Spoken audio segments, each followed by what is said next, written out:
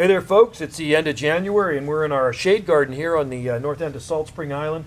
And if you want a really cool exotic looking uh, plant for your exotic garden, it's a great companion plant for other uh, exotica, is a bear's breech, is the common name, or Acanthus mollis. So this is evergreen in our climate. And um, what it does, it sends out beautiful purple bell-shaped flowers.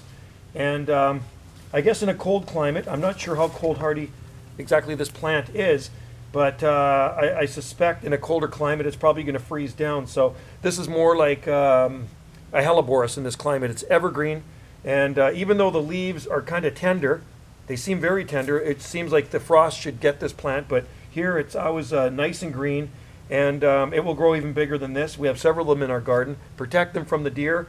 It likes partial shade, and the flower spike will shoot out the center of this plant and grow up, uh, you know, maybe a couple of feet above it and like I say, they are uh, they are purple. This one's putting out new leaves still, even though we're uh, just about a day away from uh, Jan uh, February.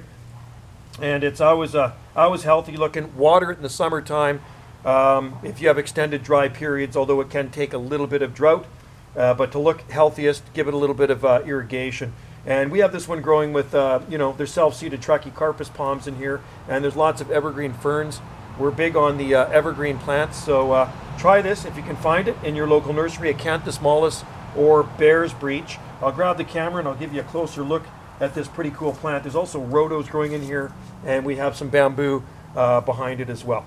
All right, folks. Thanks for watching, and uh, happy exotic gardening. Isn't that pretty cool looking? I think it's pretty awesome. And you can see the new leaves. Look at, they are actually pretty tender looking, but it uh, doesn't ever get cold enough here to bother it.